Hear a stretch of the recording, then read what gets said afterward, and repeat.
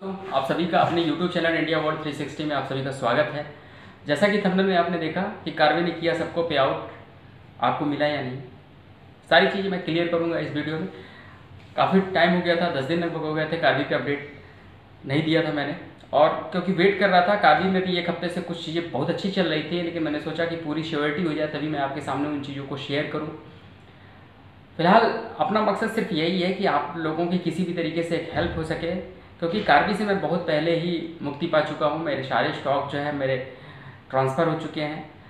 और कार्बी से मेरा कोई लेना देना नहीं, लेकिन सिर्फ़ यही है कि एक सोच है, एक फीलिंग है एक भावना है कि जिस तरीके से मैं परेशान हो रहा था कि कहीं से मुझे नॉलेज मिले तो मैंने सोचा कि मेरे माध्यम से जो नॉलेज है वो आप लोगों तक अपडेट की जाए, आप तो लोगों को बताई जाए। तो बस छोटी सी कोशिश है कि आप लोगों की किसी भी तरीके से मदद हो सके।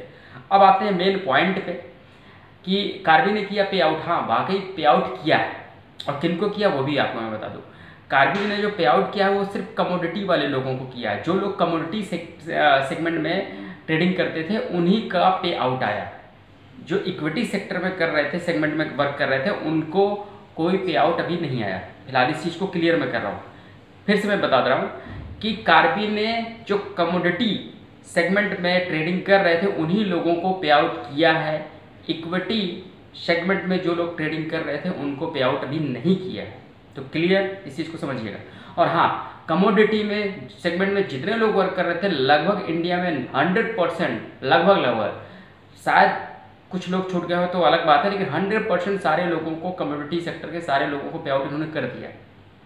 ये पिछले एक हफ़्ते से ये चल रहा था, लेकिन मुझे थोड़ा सा, मैंने सोचा कि मैं पहले वीडियो डाल देता आप लोगों के सामने तो कई लोग कहते कि नहीं सर, ये चीज़ें सही नहीं है। तो अब उन्होंने कम, पूरा पे आउट कर दिया है। अभी ऐसा नहीं कि बाकी है पे आउट कर दिया कार्बी ने कमोडिटी सेक्टर के जितने भी इन्वेस्टर थे, क्योंकि कमोडिटी सेक्टर में एक ही चीज़ है। वो एक एक महीने के लिए लोग जो है वहाँ पे ट्रेडिंग करते हैं एक्सपायरी डेट होती है। और रहा सवाल कि कमोडिटी सेक्टर में कोई स्टॉक नहीं होता है कमोडिटी सेक्टर में होता क्या है कि केवल कैश ही होता है? और उस कैश के साथ में क्या है कि वो कैश वहाँ पे होल्ड था कम्युनिटी सेक्टर वालों का। अब हमारे आपके साथ में जो इक्विटी सेगमेंट में थे तो हमको आपको कहीं ना कहीं ये इन्होंने स्टॉक जो है पुल में रखे तो उसको डिमेट में डाले, पैसे भी थोड़े बहुत दिए। तो इक्विटी सेक्टर के लोगों को अभी तक इन्होंने रिलीफ दिया था, लेकिन कमोडिटी सेक्टर के लोगों को कुछ भी रिलीफ नहीं था। तो अभी इनके पास में जो एक अमाउंट अच्छा खासा आया था, एक हफ़्ते पहले की बात है, ये सब चीज़ें चल रहा था, लेकिन मैं सिर्फ़ सियोरिटी देख रहा था कि कहीं ना कहीं ये हंड्रेड परसेंट सारी चीज़ें क्लियर हों, तभी मैं आपके सामने इन सब चीज़ों को शेयर करूँ। तो अभी तक जो रिलीफ दिया था, इन्होंने इक्विटी सेक्टर के सेगमेंट के लोगों को रिलीफ दिया था। उनके स्टॉक पूल से डिमेट में डाले थे और उनके, उनको कुछ थोड़ा बहुत पे आउट भी किया था, लेकिन कम्युनिटी सेक्टर के लोगों को रिलीफ नहीं मिला था। तो इस बार जो पे आउट आया, इन्होंने क्या किया टोटल कम्युनिटी सेगमेंट के जितने भी इन्वेस्टर थे, उनका सारा कैश सारा पे आउट किया। है ना अब बात आती है कि जो हम लोग, जो आप इक्विटी सेगमेंट के लोग हैं, उनके साथ में क्या होगा? देखिए इक्विटी सेगमेंट में भी वो भी बहुत जल्दी शार्ट आउट हो जाएगा क्योंकि बहुत बड़ा पॉजिटिव न्यूज़ बहुत बड़ा पॉजिटिव मैं लगातार आपसे कहते आ रहा हूँ कि इनके पास इतने एसेट है कि यदि आज बेचें तो जितने लोगों को देने उससे तीन गुना ज़्यादा पैसे इनके पास में हो जाएँगे। तो कहीं से कोई दिक्कत नहीं है। बस इनके दिमाग में थोड़ी सी बेईमानी ना आए तो हंड्रेड परसेंट सबका पैसा मिलेगा और फिर मैं बोल रहा हूँ आगे मिलेगा।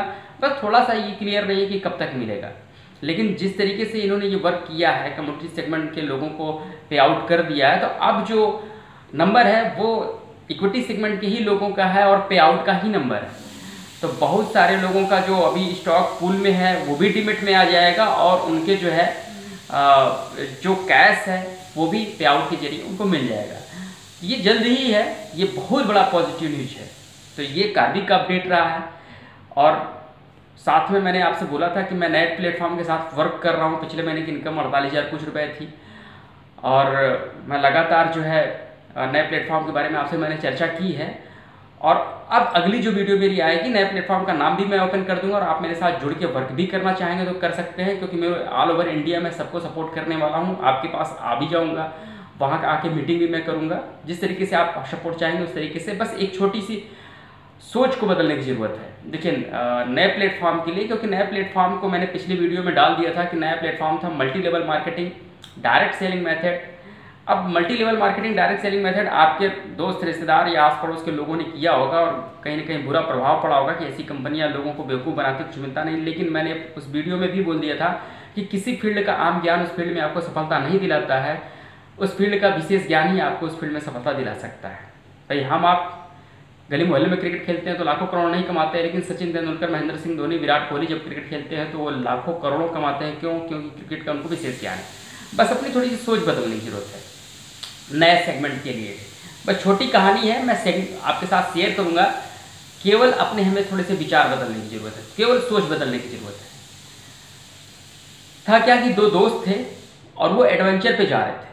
तो मैं आपको बताऊँ कि वो निकले अपने घर से और काफ़ी दूर निकल गए थे और हुआ क्या कि शाम का टाइम हो गया था और शाम के टाइम में जंगल में ही वो एडवेंचर पे गए हुए थे और उस जंगल में कहीं वो कहीं खो गए। हुआ क्या कि अंधेरा हुआ तो खो गए। लेकिन रात जो थी, थोड़ी सी उजाली रात थी। कहते हैं ना कि रात भी जो कभी कभी चांदनी रात होती है तो उजाला होता है उसमें। तो उनको लगा यार कि हम कहीं ऊँची जगह पे यदि पहुँच जाएँ तो वहाँ से चारों तरफ़ का नज़ारा दिखेगा तो हम इस जंगल से बाहर निकल सकते हैं। तो उन दोनों दोस्तों ने पहाड़ी पे, जो जंगल में पहाड़ी थी, उस पर चढ़ने की कोशिश की और वो एकदम ऊपर जाके पहुँचे। पहुँचे तो वहाँ पे उन्होंने देखा क्या कि नीचे एक नदी बह रही थी।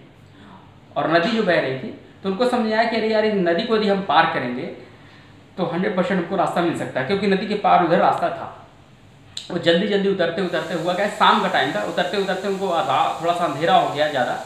नीचे पहुँचे वहाँ पे, नीचे पहुँचने पे वहाँ पे उनको किनारे ही एक नाव मिल गई और वो नाव पे बैठे और पूरी ताकत से, पूरी शिद्दत से, पूरी हिम्मत से उन्होंने चप्पू चलाना शुरू किया। और चलाते चलाते काफ़ी देर, क्योंकि नदी थोड़ी सी चौड़ी भी थी, चलाते चलाते काफ़ी टाइम हो गया और इसी में रात भी बीती और सुबह हुई। सुबह हुआ तो उन्होंने देखा क्या कि वो नदी के बीचों बीच में है। नदी के बीचों बीच में नदी पार नहीं कर पाए। उसका रीजन आप समझिएगा। क्योंकि वो नदी, वो जो नाव थी सॉरी जो नाव थी जिसपे वो बैठे हुए थे, जिसपे चप्पू चला रहे थे, वो नाव जो है एक खूंटे से बंधी हुई थी किनारे, और उस खूंटे की जो गांठ थी, वो खोलना ये भूल गए थे। तो हमारे दिमाग में भी आप समझो, यदि वो गांठ खोलना भूल गए थे, यदि हमारे दिमाग में यदि किसी चीज़ को लेकर हम गांठ बाँध देना तो ज़िंदगी में कभी तरक्की नहीं आ सकती, कभी बदलाव नहीं हो सकता। तो हमें भी ज़रूरत है कि पुराने जो गांठ हैं, उसको खोलने की ज़रूरत है। बस यही था कि थोड़ी सी विचार बदलेंगे ना तो वाकई ज़िंदगी बदले कहते हैं दिशा बदलने से दशा बदलती है। तो यही कहानी थी। अगली वीडियो में मैं अपना नए प्लेटफॉर्म के बारे में भी आपको बताऊँगा। और चाहते हैं कि मेरे साथ जुड़ के वर्क करना तो चैनल को सब्सक्राइब करिए, लाइक करिए। और वीडियो को भी शेयर करिए। बहुत सारे लोग यदि जुड़ के वर्क करना चाहेंगे, क्योंकि जितना बड़ा परिवार, उतनी बड़ी कामयाबी यहाँ पर आएगी। तो चैनल को ज़रूर सब्सक्राइब करिए, लाइक करिए। थैंक यू, वीडियो देखने के लिए।